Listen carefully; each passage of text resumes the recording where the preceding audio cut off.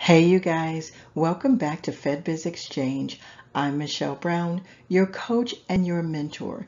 In this video, we are still maximizing contract profits using our bid pricing templates. So this is part two, but in part two, we're going to talk about subcontracting. So when you have to use someone else to do something for you, specifically a service, but also a product, when you have to use a subcontractor or a manufacturer or a supplier, you need to know what you're going to pay that supplier, that subcontractor, or that manufacturer.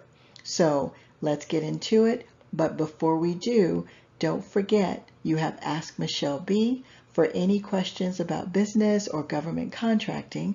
And also don't forget to subscribe.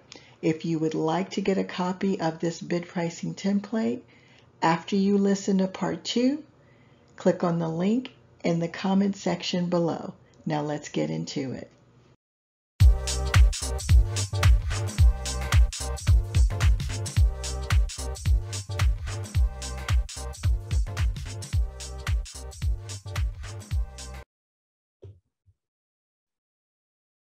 Now we're in the second category, subcontract labor. What if I needed other services? What if I needed other services to support me on this contract? I have to charge the government for it, or I could eat the cost. In this case, I'm not going to eat the cost. So I will charge the government for, as an example, something called uh, drug and alcohol testing. Okay. And if I do drug and alcohol testing, because we have to do this with our employees when they work for the government, you have to screen your employees. So I would just say testing and screening is what this is. So I would tell what the location is. In this case, my subcontractor would do this in Chicago, which is where my employee is. Okay, remember, I only have one employee, the cardiologist, because Michelle, the contract administrator, works for me and my company directly. This area down here for subcontract labor is for contractors and other companies that assist you in getting the job done. Okay, so we only have one employee in this case. And for drug and alcohol testing, let's say they charge us a rate per person.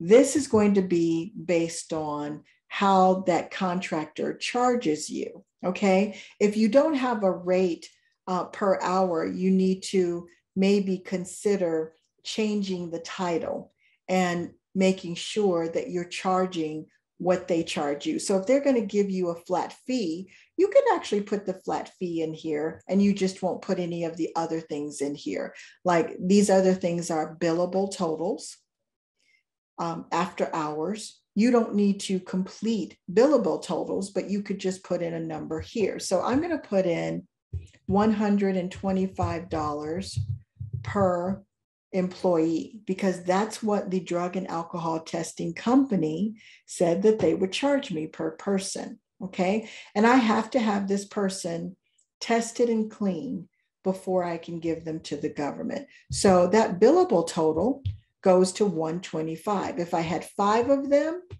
like so, then that billable total would go to 625, but I only have one. So now that I have that in there, now, what is this after hours? Some subcontracting companies may charge you additional for different reasons, like if it's after five o'clock or something like that. But in this case, we don't have that problem or we don't have that challenge. So I don't have any additional items to charge for that are coming from the company. Okay. Now, what I will have is markup cost. So the markup cost will be based on what I decide I want to mark up. Can I mark up the $125 that I'm being charged? I absolutely can. It may not be as much, but it's worth charging for because I'm having to get this service to add to my company to make these things happen. Whether I'm doing it or I'm hiring someone else to do it, I need to charge the government for it if I can afford to charge the government for it. Now, what I mean by that is if you find that your number is getting too high based on your previous pricing research, try not to charge the government for every single thing. But in this case, I'm going to charge them $100. Okay. So the total charge for subcontractors in this case would be $225. Okay, so you see here's the $100 markup. Here is what I'm adding to the contract. If you go back up here, you will notice that my contract has gone up by $1,246,575. It's gone up by this number here, $225.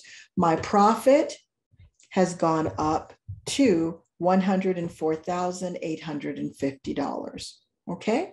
So that's what's happening. And it all makes sense because I, all I added to my profit was $100 in this case. And that's how you use the subcontractor category. Remember, you're going to fill in all of the red areas. The other areas that are green will calculate on their own. Okay, so just keep that in mind.